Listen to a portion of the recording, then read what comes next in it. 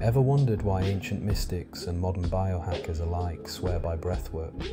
Science now reveals that intentional breathing does far more than just calm the mind. It can radically alter your brain chemistry and overall mental state. Deep, rhythmic breathing activates the vagus nerve, shifting the nervous system from stress mode to a state of relaxation and heightened awareness.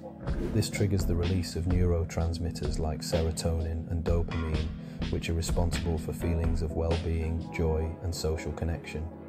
But that's not all. Brain imaging studies show that breathwork can synchronize neural oscillations, especially in the prefrontal cortex, the area linked to consciousness, decision making, and self awareness. These shifts mimic the brainwave patterns seen in deep meditation and mystical experiences. Many practitioners report a profound sense of unity or transcendence, which neuroscience suggests arises from decreased activity in the brain's default mode network, reducing the sense of separate self and ego boundaries. Through conscious breath, we don't just change our chemistry, we open a doorway to spiritual insight and expanded states of being